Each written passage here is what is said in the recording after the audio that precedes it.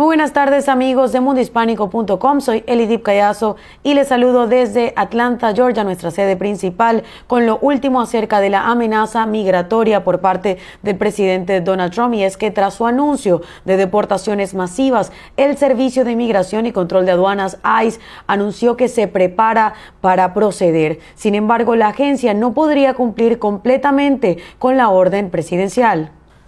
ICE indicó que se prepara para ejecutar deportaciones masivas en las venideras semanas, pero no al nivel que amenazó el presidente Donald Trump. El Servicio de Inmigración y Control de Aduanas ha agrupado en los últimos días a la sucursal responsable de ejecutar las deportaciones que se preparan para los arrestos masivos de inmigrantes indocumentados, según dijeron este martes dos funcionarios del Departamento de Seguridad Nacional, quienes agregaron que la agencia no podría deportar de inmediato a millones de extranjeros ilegales, como lo prometió el presidente Trump. Funcionarios de alto nivel de ICE, muchos de los cuales fueron sorprendidos este lunes por el tuit de Trump, han indicado durante semanas que la agencia realizaría redadas dirigidas a miles de familias migrantes en hogares y comunidades, algo que uno de los oficiales de seguridad nacional confirmó que se efectuaría en las venideras semanas. Sin embargo, las leyes de inmigración impiden que la administración de Trump deporte inmediatamente a las familias centroamericanas que buscan asilo, que constituyen la mayoría de los migrantes arrestados en la frontera.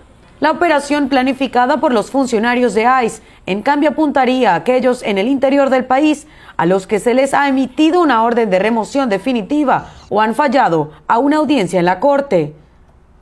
Después de que el presidente hablara este martes, el director interino de ICE se negó a decir si la agencia planeaba arrestos masivos la próxima semana. Un presidente que indique el tiempo de tales redadas de inmigración no tendría precedentes, ya que podría generar pánico en las comunidades y amenazar el éxito de las redadas. Una operación dirigida a las familias tampoco resultaría de inmediato en la deportación de millones de inmigrantes indocumentados, según funcionarios que no estaban autorizados a hablar públicamente sobre los detalles de la próxima operación o el tuit de Trump. Aunque un millón de inmigrantes indocumentados ha recibido órdenes de remoción, muchos de ellos pueden apelar sus casos y no pueden ser deportados. Los aproximadamente 6.000 oficiales de deportación en ICE tampoco conocen la ubicación de muchos de los migrantes.